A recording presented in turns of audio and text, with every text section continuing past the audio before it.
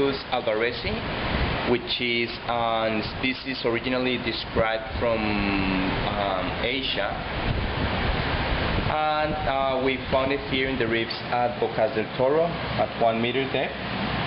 It was overgrowing some of the, um, it, it was amongst um, Acropora cervicornis reef. Some of these branches were overgrowing um, octocorals. So here we're a little bit concerned that this alga might be, um, might invade some of the reefs in our region. So we're working on uh, doing some cross-section, confirming the identity of this species, and we've also given some samples to Goodson to check whether it matches the species that is being used in the mariculture funds uh, throughout this uh, day. I went out collecting today for algae. I'm looking for a species of Champia vieillardii. Well, I collected it. now I'm sorting it, uh, disattaching it from its substrate. It's epiphytically growing on um, some, what do you call it? can't find it. Amphiroas, and I think it was also growing on a Gelidium. And this large one here is a Botryocladia.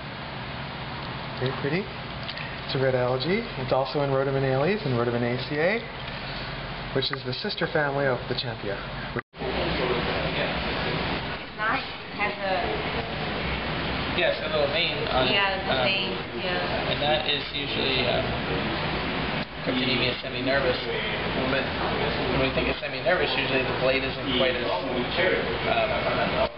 undulate, uh, it's twisted, and it's also broader than that. So, and it's not. Yeah, I guess maybe it's and the the, the I think it's Lingia, but I'm not exactly sure. India. Yeah. Oh. If you look sideways, right? Yeah. Okay, thanks.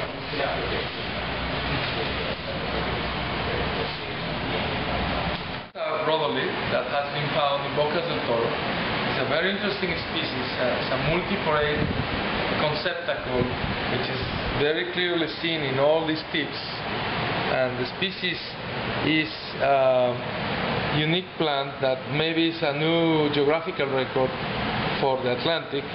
And it's a very interesting because it's very, very common all over Bocas. Is probably a new Crustose coralline algae in association with a sponge. In a cross section, you could see the two organisms well uh-huh. mixed, were intermingled, forming a very interesting association. And here is the specimen.